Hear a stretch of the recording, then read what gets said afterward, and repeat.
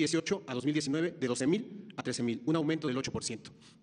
En Hidalgo, y donde se ha abocado la lucha del gobierno para los talleres, para las pláticas con las familias, eh, todos este, eh, estos programas sociales, las tomas clandestinas en Hidalgo pasaron de 2018 a 2019 de 2.000 a 4.000, es decir, se duplicaron.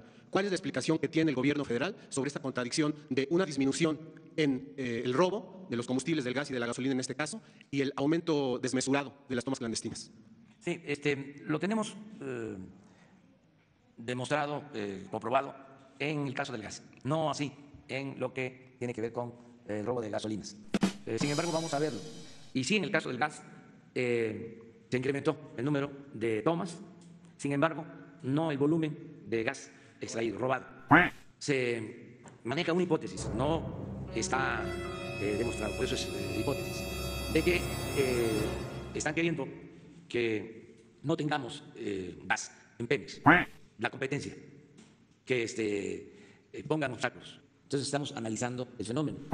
Vamos a pedirle al director de Pemex también sobre el robo de petróleo crudo para la exportación, que sucede lo mismo. se roban equipos, bombas, que aparentemente cuestan muy poco, bombas que pueden costar en el mercado negro 5 mil, 6 mil pesos, y van en lanchas a las plataformas y se roban esas bombas que paran la producción. Acuérdense ustedes que el propósito era acabar con Pemex y con la Comisión Federal de Electricidad y entregar todo el mercado a particulares. Ese era el plan.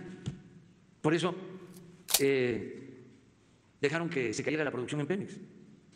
Hay dos eh, hipótesis. Una, que los eh, tecnócratas son muy ineficientes. Párvulo, está en parvulito, son de parvulito. al grado pues, que se llegó a importar petróleo crudo. 18 no ha aumentado la producción de petróleo de las empresas particulares. Muchas ni invirtieron siquiera se quedaron nada más con los contratos, 110 contratos de exploración y eh, producción de petróleo.